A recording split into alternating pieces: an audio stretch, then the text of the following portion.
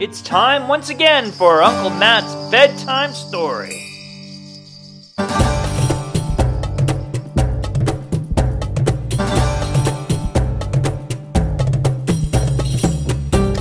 Hello, everybody. It's Uncle Matt, and I'm here to read you another bedtime story. And I don't know about you, but do you have different names that you call your grandparents? You know, besides grandma and grandpa, that's usually what I call my grandparents. Um, but sometimes people call them, you know, papa, mama, gramps, granny, all those kind of names. Do you have different names to call those grandparents? Well, there's a story here that we're going to read, and it's not a name I would call my grandparents, but um, it is for this little girl. It's called Babajoon's Treasure. Babajoon's Treasure by Farnaz Esnaashari, illustrated by Nabi H. Ali. And uh, I really am attracted to the illustrations here. It's uh, quite a colorful book and a great story, so I hope you enjoy it as well. Babajoon's Treasure.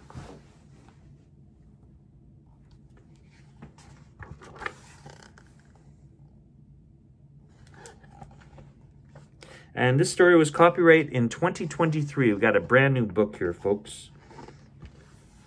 Every summer, I spend a week at my Babajoon's and Maman Joon's house. It's a tradition we have. I love going to their house because it is always a magical adventure.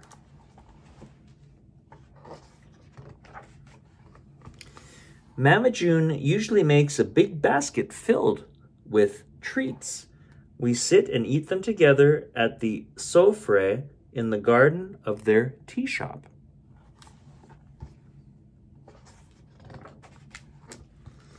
And then Babajoon takes me out for a super special tasty treat. Two rocket pops, please. One for me and one for Babajoon. When Babajoon goes to pay for our rocket pops, coins spill out of his pocket. There is one coin that doesn't look like the rest. It doesn't look like any coin I've ever seen. Hmm.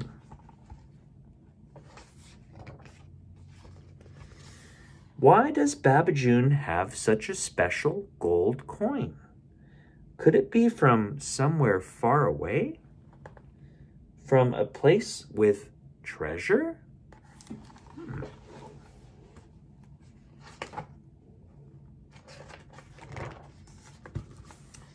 While we sit and eat our tasty treats, a beautiful bird flies above us singing a pretty song. I gasp in surprise when my Babajoon sings along. Babajoon, how do you and the bird know the same song? Babajoon smiles and says, All birds love the song Layla. Growing up, my family had many birds. I learned their favorite song from my Babajoon, who learned it from his. Gold coins. Secret songs for a parrot. I can't believe my parents never told me.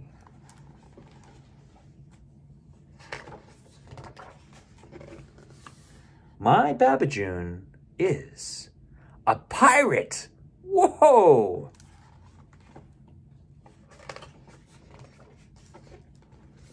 Does that mean, could I be a pirate too?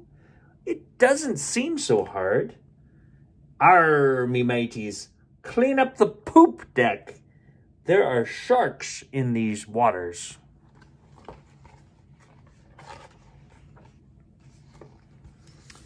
On our way back to the tea shop, Babajoon says he has a quick errand to run.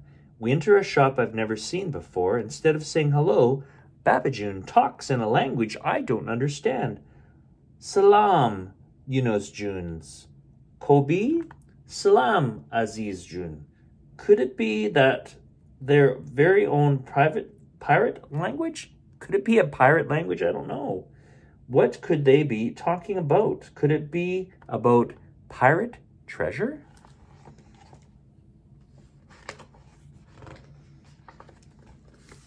I wonder if there's a secret treasure hiding behind the wall, filled with pirate booty waiting for us to come and get it. I watch in awe as Babajoon and his friend make a super secret pirate crystal maid.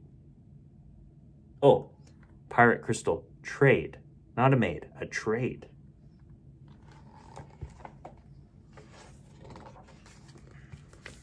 When the trade is done, Babajoon and his friend hug each other as they say goodbye. Let's see here. Mercy Yunus Juns, Loft Darid Azim, Galbil Nardar Azijun.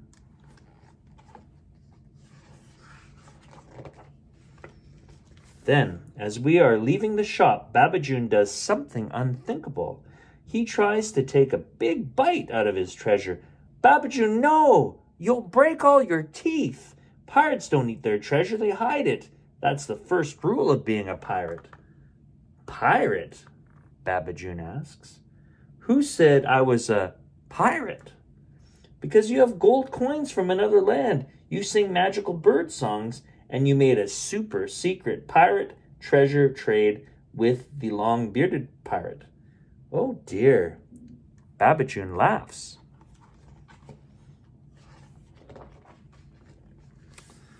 With a smile, Babajoon explains, These coins do come from a different land, but they are from my childhood home in Iran. And you are right, they are a treasure, but not in the way that you think.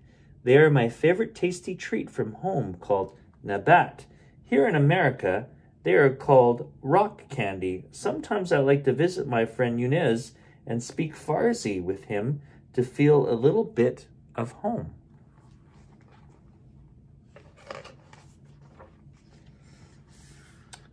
When we were little boys, Yunez and I would save these old coins and spend them at our favorite tea shop every day after school. It reminds us of very special days. Is that why you opened your own tea shop to feel a little piece of home? Exactly, Miriam June. Baba Joon hugs me tight. I'm glad you're asking questions. Is there anything else you'd like to know?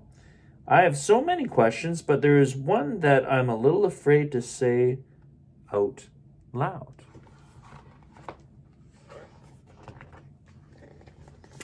With Babajoon's hand holding mine, I feel brave enough to ask.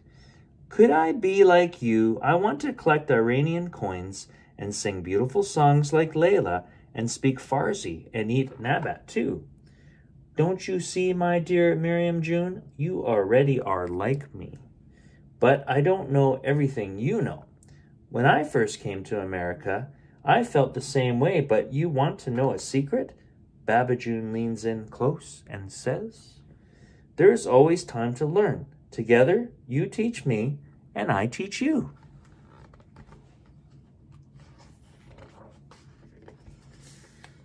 On the way back to the tea shop, I'm glad my Babajoon isn't a pirate. Now I know who he really is. He is a leader who sings beautiful songs, speaks a pretty language, and is brave enough to go on grand adventures that take him across oceans.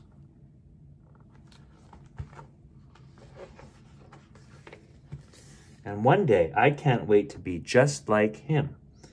Salam, Maman Joon. Salam, Azium.